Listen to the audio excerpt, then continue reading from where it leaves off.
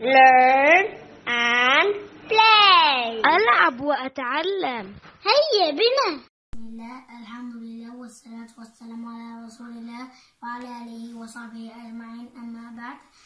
Aziz dostlarım biz bugün Allah'ın e, iki tane adını öğrenecek. Rahman ve Rahim Allah'ına ve bunların manalarının farklarını öğrenecek. Rahman ve Rahim adı rahimli, merhametli, şefkatli demektir. İkisi de eyni manalıdırlar. Ve onların em, ve onların farklarını diyecek. Burada Rahman'ın farkı, burada da Rahim'in farkı. Rahman adı Kur'an'da 57 defa geçir.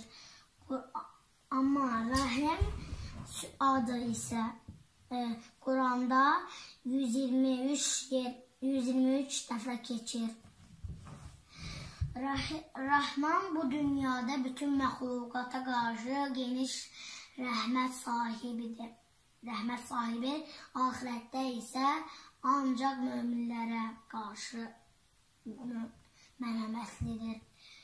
Bu yəni bu söz yəni e, yəni şey e, bitkilərə, e, insanlara, kafirlərə, cahillərə, heyvanlara qarşı mərhəmətli deməkdir. Axirətdə isə ancaq möminlərə, yəni qiyamət günü də ancaq möminlərə qarşı mərhəmətli olacaqdır.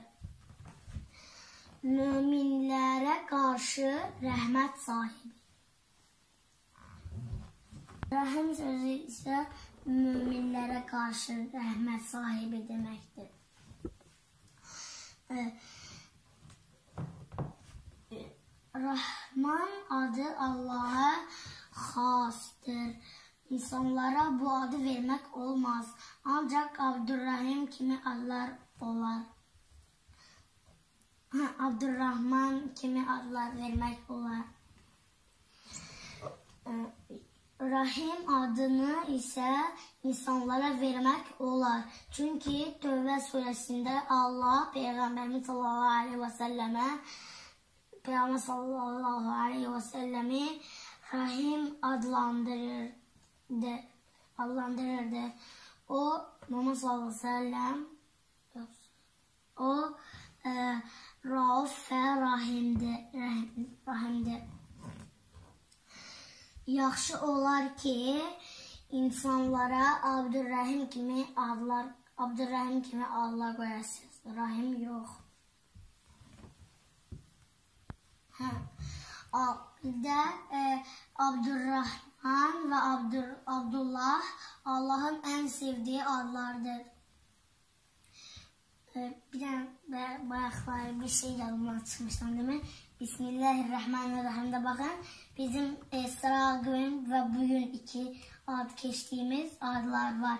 Allah, Rahman ve Rahim. Bu, bu ismi e, yani Allah, Rahman ve Rahim olan Allah'ın adıyla demektir. Ve Abdullah, Abdurrahman, e, Abdurrahman, Abdullah, Abdurrahim, ve Abdurrahman Allah'ın en sevdiği adlardır. Abdurrahim, Abdurrahman, Rah- Rahman'ın kulu demektir. Abdullah demektir.